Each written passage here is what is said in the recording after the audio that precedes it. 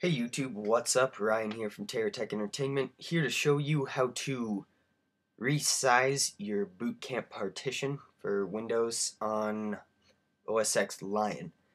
So what you're going to need to do, first off, you're going to want to download something called WinClone. It's a free download, I'll have a link down in the description, right here. Then you're going to want to open it up, you'll be prompted with this, click agree, then you're going to have to install something just real quick. So download that, install it, open it up again, and you'll get what looks like this. So what you want to do, you just want to click agree. And by the way, before you do any of this, make sure you back up your important documents and everything that you want to keep. Like over here, I have my important stuff in here. It's not too much because I don't have a lot on Windows at the moment. But that's pretty much it. So back up what you most what you do not want to lose because this might not save everything. So use use this at your own risk. So all you want to do, go down here, click agree.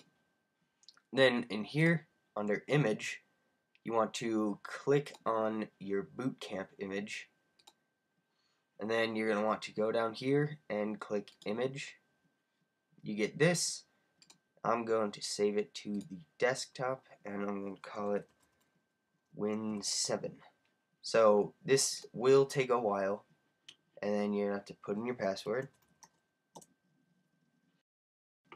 So as you can see right down here, it is going to back everything up onto this one file right here.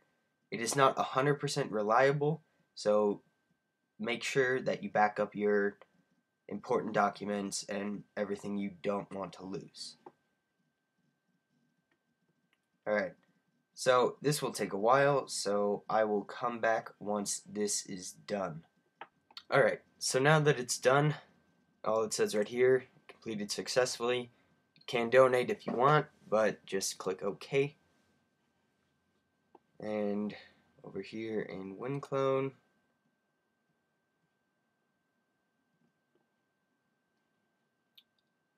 this is done. Alright, so now what you're going to want to do, you can close out of WinClone now, or just minimize it, because you're going to need it later. And then what you want to do, you want to go into your applications, then utilities, then you want to click on disk utility. And you get this and click on your hard drive. Click over here on partition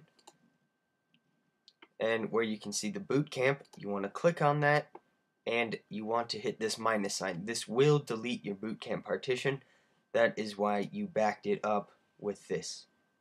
Alright before you do anything with WinClone wait till the blue bar goes away.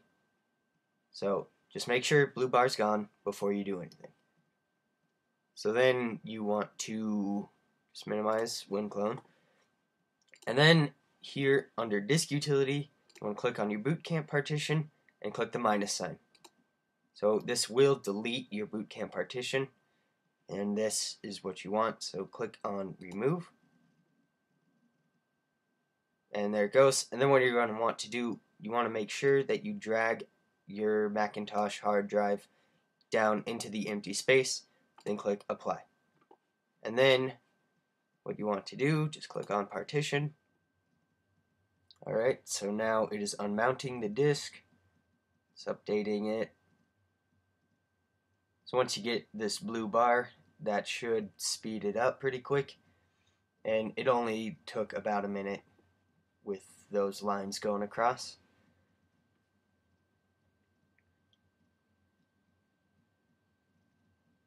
So you're going to want to make sure that you drag it down just to create or to put your hard drive, make it bigger pretty much. Alright, so once you're done with that, you're going to want to go ahead and go into Utilities and Bootcamp Assistant. Make sure that you have your Windows 7 disk with you. You're just going to need it in the computer to partition your drive. Then all you want to do is have install Windows 7 checked. Click continue. Choose how much you want. I'm gonna go on 250. So if you're going to make it larger, you can just make it larger without having to worry.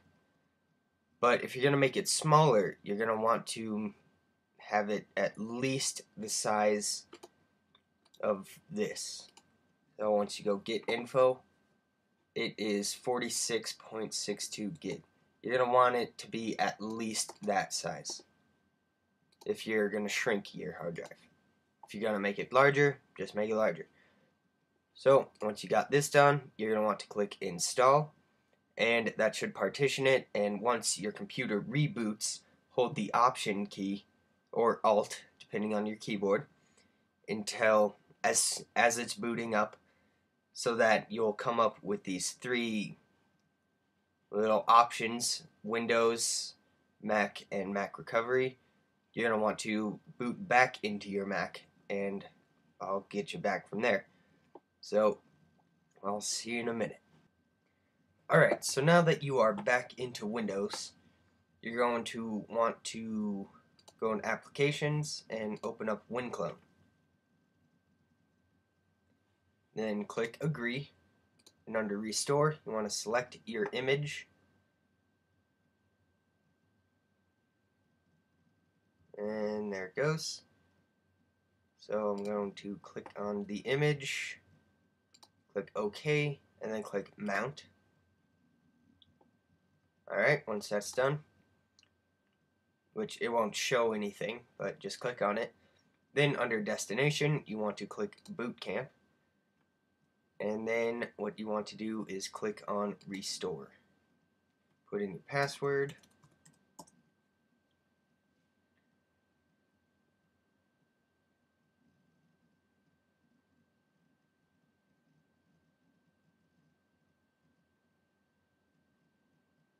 And then here we go.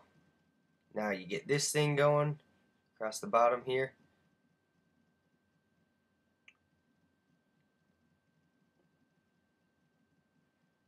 And I will be back once this is done. And now you're done with your Windows disk. You do not need that anymore. So you can just eject it if you'd like. But I'll be back once this is done. And I'll see you in a little bit. Alright, just a quick checkup. It's been about 50 minutes and it's only here. So it is going to take a while. So you gotta have time and patience. Alright, so it has been probably an hour and a half, two hours around there. So it does take a while. Um, so once you're done, click OK, and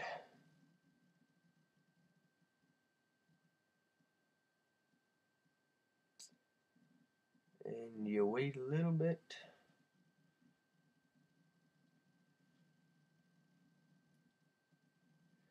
Alright, so now WinClone is done and you are complete. Well, thanks for watching this video. If you have any questions or comments, uh, please post a comment down below. And if you found it helpful, please give it a thumbs up and subscribe. And thanks for watching. I'll see you next time.